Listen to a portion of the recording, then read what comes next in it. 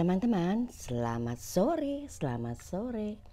Di Sabtu sore ini aku ada di pinggiran Danau Situ Gintung mau ngajak teman-teman eh, jalan-jalan berjoging ria di Danau Situ Gintung. Pasti teman-teman tahu lah ya yang namanya Danau Situ Gintung itu di mana. Adanya di Tangerang Selatan di eh, perbatasan antara Tangerang Selatan dengan Jakarta Selatan. Ini Danau Situ Gintung ini. Eh, aku mendadak aja datang ke sini karena aku melihat udara begitu indah di Sabtu hari ini. Uh, jadi aku berpikir aku ingin mengambil uh, uh, sunset di sini. Biasanya sunset di sini bagus. Sesungguhnya sih di sini lebih bagus uh, sunrise-nya. Tetapi uh, aku mau coba cari-cari sunset di sini karena sudah beberapa bulan di Jakarta ini uh, hujan. Terus menerus kalau siang tuh udah sampai malam hujan. Kita nggak pernah lihat sunset. Jadi sore ini aku mau ngajak teman-teman jalan-jalan aja di sini sambil mengobrol-ngobrol begitu di pinggiran situ Gintung ini. Yuk kita jalan-jalan aja pelan-pelan. Aku banyak uh, memperlihatkan gambar danaunya ya, karena memang saya berada di tepi danau. Uh, aku udah sudah pernah cerita loh mengenai danau danau ini dulu di vlog aku beberapa bulan yang lalu. Jadi uh, scroll ke bawah aja ada tragedi apa di danau ini dulu sehingga ada seperti bencana alam gitu. Nah ini bisa dilihat di vlog aku. Ih mataharinya keren ya. Sudah mulai datang. Karena memang panas dari pagi jadi aku berpikir uh, pasti sore ini mataharinya bagus sekali dan aku lihat tadi jam 4 mataharinya udah, sudah mulai bagus. Maka setengah lima aku memutuskan untuk berjalan ke sini sore-sore menunggu sang matahari. Mudah-mudahan mataharinya sesuai ekspektasi ya. Kelihatannya sih begitu deh. Ini sudah ada tanda-tanda yang bagus seperti itu. Teman-teman, bagaimana dengan pengalaman-pengalaman teman-teman selama di YouTube ini? Nah ini teman aku kasih lihat dulu ini ya. Uh, jogging tracknya ini disediakan oleh pihak uh, Pemda atau pengelola, pengelola situ Gintung ini disediakan sekeliling sekeliling danau. Jadi bisa naik sepeda di jogging track ini, bisa juga jalan kaki seperti aku di sini.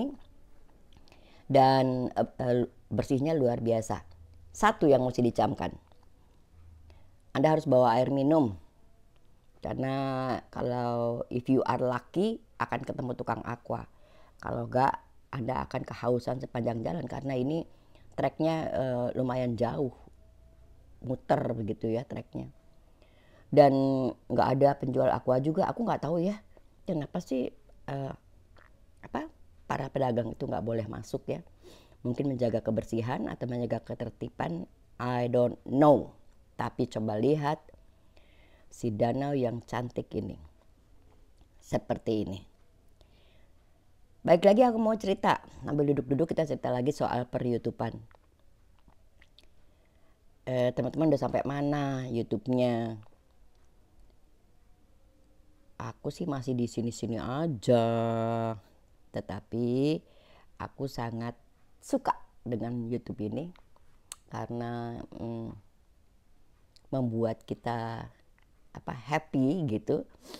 Dan aku sama sekali tidak pernah mau memikirkan berapa penghasilanku di YouTube ini.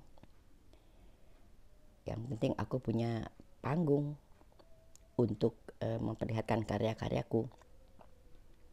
Si matahari sudah mulai datang tapi aku lanjutkan. Adakah teman-teman desperate mengikuti YouTube ini? Kebanyakan desperate kita itu datangnya dari uh, para tutorial-tutorial itu yang ada banyak banget segambreng-gambreng di YouTube ini sumpah deh. terus eh, kadang-kadang eh, apa namanya cara memberikan tutorialnya itu kalau kita ikuti ada yang benar kadang-kadang ada yang salah tapi setahu aku setahu aku di Indonesia ini YouTube kontributor tuh cuma 6 apa 7 orang gitu deh jadi ih ada orang lagi jalan juga tuh jadi aku nggak takut juga sendirian uh, jadi ada 6 apa 7 gitu ya YouTube kontributor ini di Indonesia yang resmi ya artinya YouTube kontributor itu adalah orang-orang yang resmi ditunjuk oleh YouTube dan boleh memberikan tutorial dan dianggap tutorialnya itu sangat baik. Seperti itu. Sebaiknya mendengarkan dari mereka-mereka saja. Kalau yang lain-lain itu referensi aja dan penambahan teman saja. Menurut hemat aku, setelah aku di YouTube ini dan setelah aku monetize ini, justru semuanya menjadi semakin uh, sulit.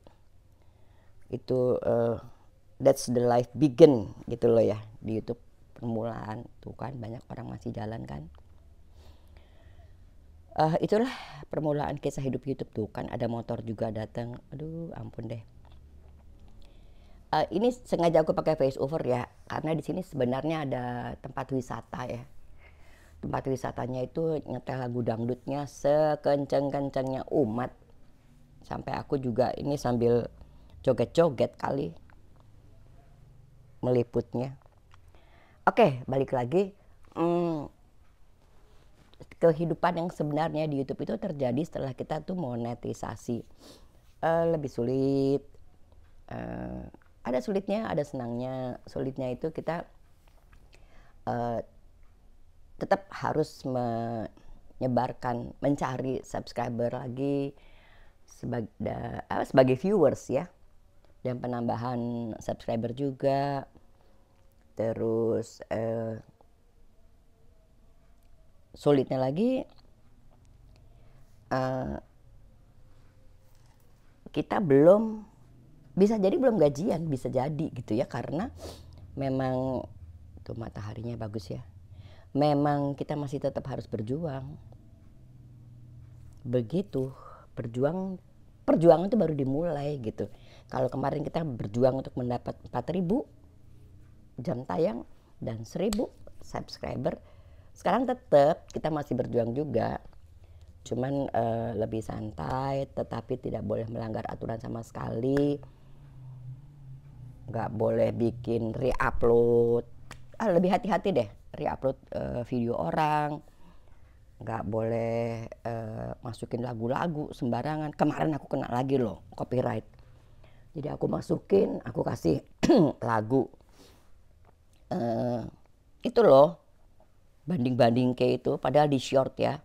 Kena copyright take down lagi gitu lah. Masukin lagi udah nggak usah pakai lagu. Sebenarnya sih lebih aman nggak pakai lagu.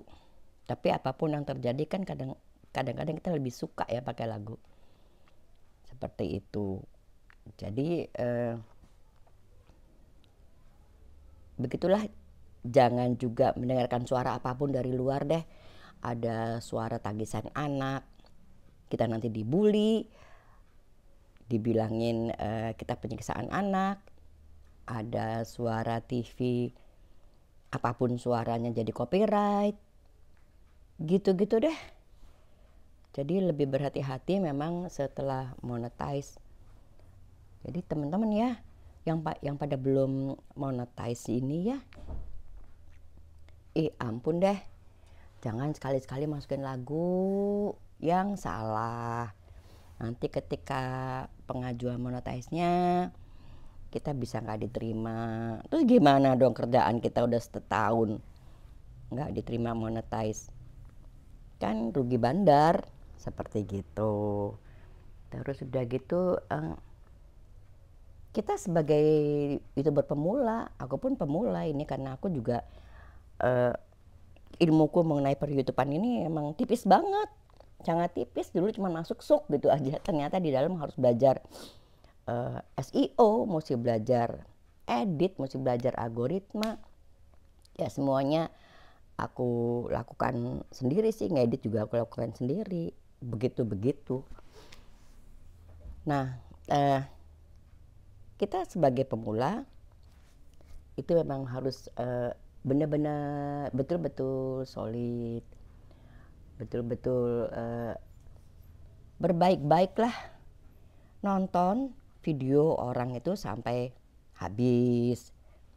Karena kalau nonton cuma satu menit, nonton dua menit, nonton tiga menit, kasihan deh yang punya channel.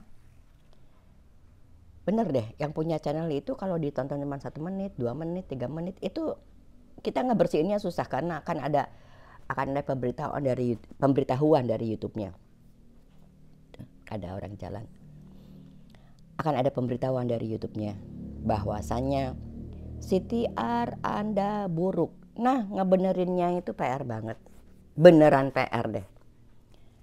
Bagi si pemilik channel ya, itu kalau Anda nonton uh, video kita cuma satu menit, dua menit, tiga menit, kita nggak benerinnya lagi tuh susahnya setengah mati itu efek bagi kita pemilik channel. Tapi bagi anda yang menonton cuman sekian menit itu pun juga ada. Aduh aku mau ditabrak sepeda nih ada sepeda minggir dulu deh. Tuh seperti gitu. Bagi anda juga yang menonton si penonton ini itu juga ada punishmentnya dari YouTube. Jadi bagiku aku sih daripada aku salah semuanya berapa menit pun yang ada di timeline aku yang lewat gitu ya lewat di channel aku pasti aku nonton. Mereka secara full gitu aja udah. Nanti yang balas siapa? Yang balasnya ya YouTube-nya tentunya kan kita dinilai juga oleh YouTube. Oh Anda telah menonton ini secara full gitu kan.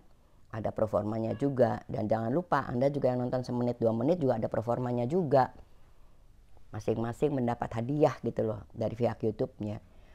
Bukan mm, channel yang ditontonnya yang dapat hadiah. Kedua belah pihak tuh datanglah dia si uh, matahari yang aku tunggu-tunggu. Jadi aku nongkrong di sini uh, insya Allah nggak sia-sia ya ngelihat mataharinya uh, datang dengan baik nih. Seperti itu balik lagi jadi nontonnya itu kalau ada nonton terus anda nggak dibales sama orangnya sih biarin aja. Karena kan uh, YouTube akan melakukan semuanya itu. YouTube mencatat YouTube itu mencatat. Anda nonton satu menit dicatat, Anda nonton full dicatat. Jadi kalau nggak mau ngambil risiko seperti aku ya udahlah nonton full aja.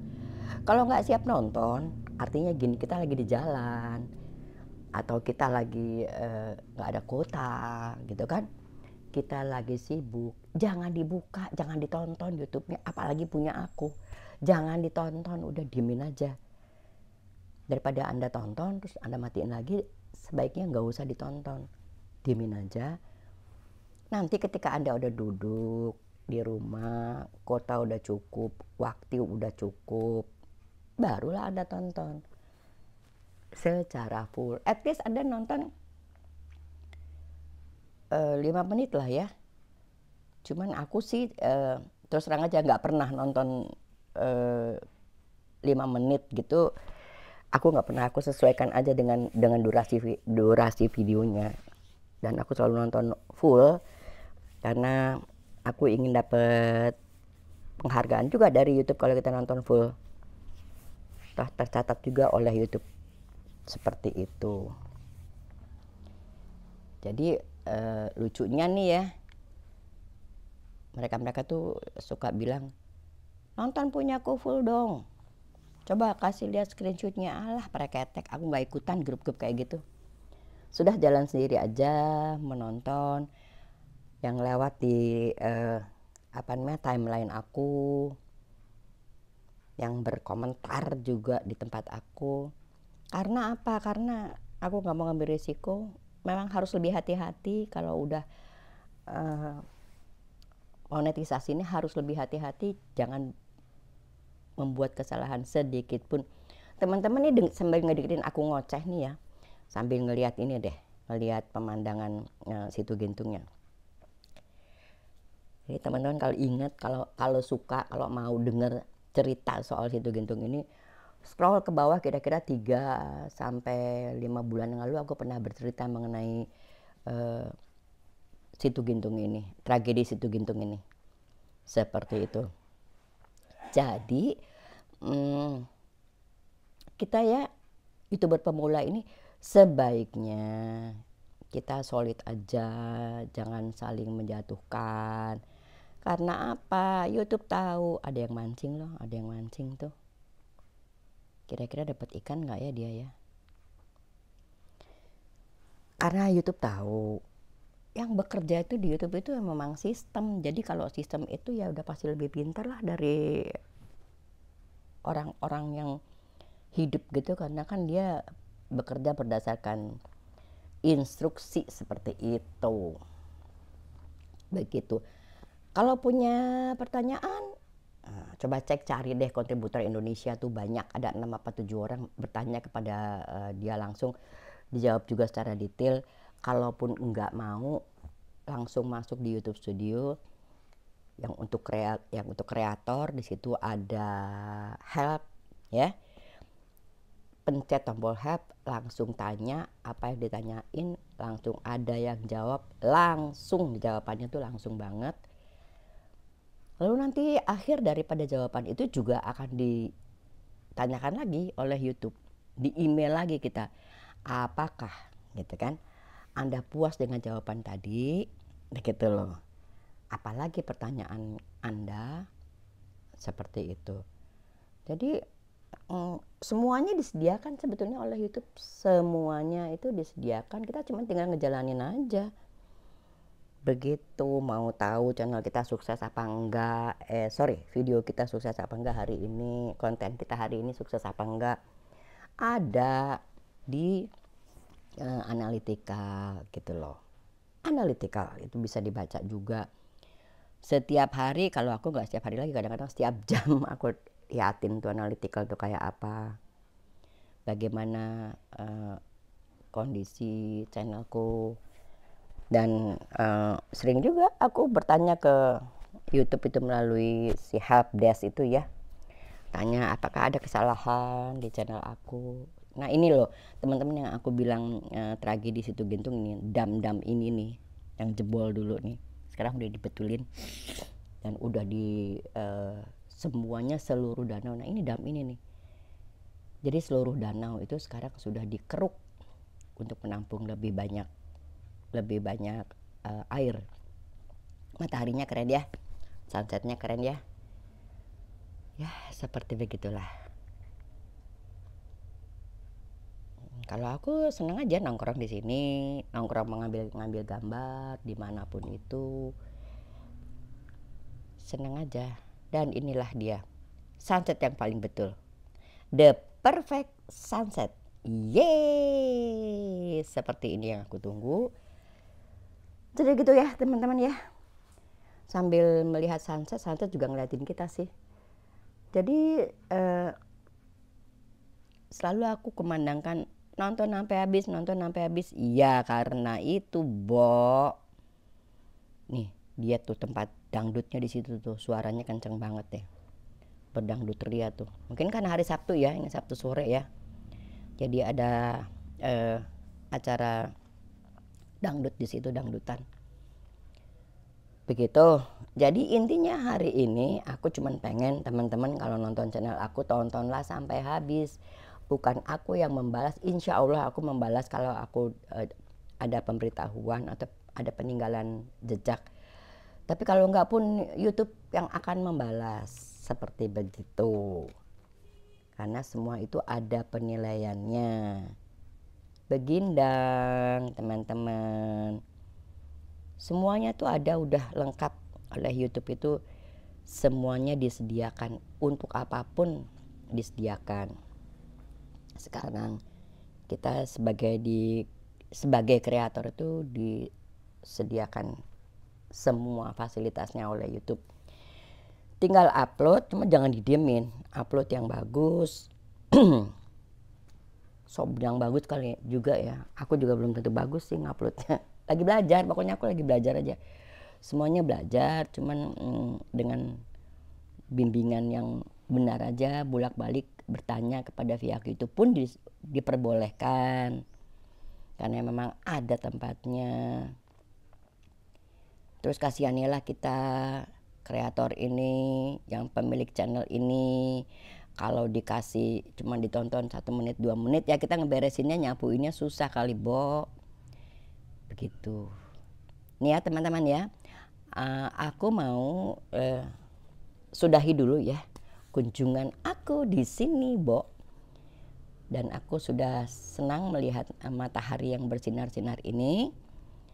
Nanti eh, kita ketemu lagi di channel di channel aku dengan konten-konten lainnya. Tapi tetap sih di perjalanan kalau aku. Oke? Okay? Teman-temanku yang tersayang